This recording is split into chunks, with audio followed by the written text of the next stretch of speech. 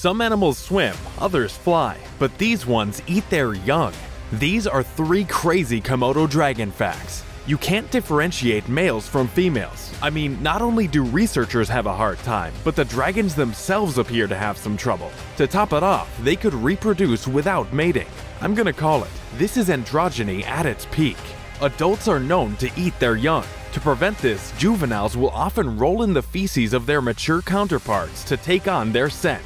Extreme. And did you know the Komodo dragon inspired the King Kong movie?